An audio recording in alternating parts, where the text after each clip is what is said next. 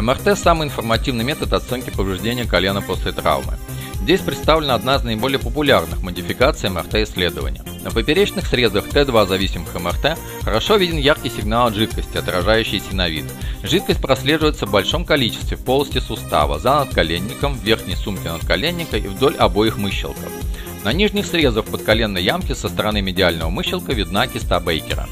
Сагитальные Т2 зависимые срезы с подавлением сигнала от жира можно считать наиболее информативными. На них также прекрасно визуализируется яркий синовид и Бейкера. Но что наиболее важно, дегенеративные изменения заднего рога медиального миниска, неизмененные крестообразные связки. Аксиальные или иначе поперечные срезы с подавлением сигнала от жира показывают отек костного мозга, медиального мыщелка, больше берцовой и бедренной костей по типу траберкулярного перелома, светлый участок от кости. Также виден отек медиальной коллатеральной связки.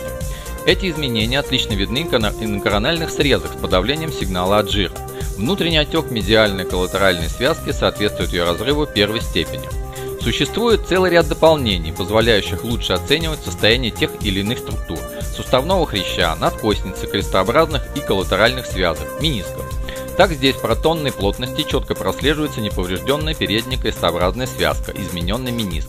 Для того, чтобы убедиться в отсутствии повреждения передней крестообразной связки, прибегают тонким срезам, параллельным ее ходу.